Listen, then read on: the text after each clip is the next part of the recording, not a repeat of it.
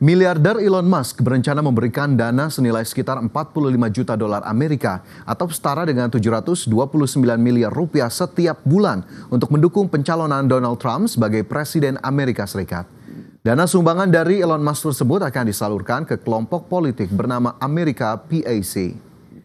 Kelompok PAC sendiri akan berfokus pada promosi pendaftaran pemilih, pemungutan suara awal, hingga pengiriman surat suara melalui pos di antara penduduk di negara bagian menjelang pemilihan umum bulan November mendatang. Sebelumnya, Elon Musk mengatakan bahwa dirinya merupakan pemilih calon presiden dari Partai Demokrat, yakni Hillary Clinton dan Joe Biden. Namun dalam beberapa tahun terakhir, Elon Musk mengaku telah menganut pandangan sayap kanan dan menjadi kritikus keras terhadap sejumlah kebijakan Presiden Amerika Serikat Joe Biden. Ia juga pernah mengeluhkan sikap Partai Demokrat yang cenderung tak acuh terhadap perusahaan miliknya yakni Tesla dan SpaceX.